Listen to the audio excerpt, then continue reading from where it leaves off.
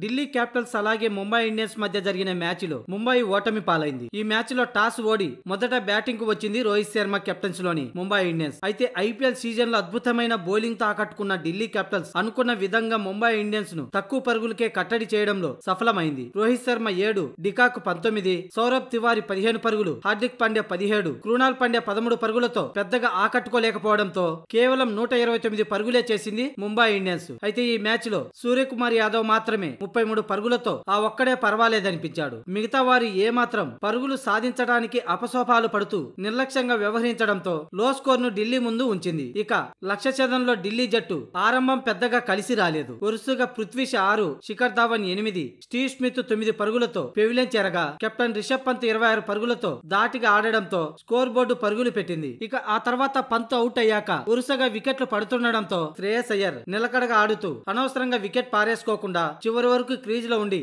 అశ్విన్తో కలిసి ఢిల్లీని విజయ్ తీరాలకు చేర్చాడు. అయితే ఈ మ్యాచ్లో రెండు జట్లు కూడా పోరాటం ఒకే మాదిరిగా బ్యాటింగ్ ప్రదర్శనలో కనబడింది. నువ్వా నేనా అన్నట్లుగా ఇరు జట్ల బౌలర్లు ఒకరిపై ఒకరు ఆధిపత్యం చెలాయిస్తూ బ్యాట్స్మెన్లపై విరుచుకుపడ్డారు. అయితే చివరికి మాత్రం గెలుపు ఢిల్లీనే వరించింది దీంతో నాలుగు వికెట్ల తేడాతో పంతుసేన విజయం సాధించింది. అలాగే ముంబై జట్టు ప్లే ఆఫ్ అవకాశాలను చేజార్చుకున్నట్లే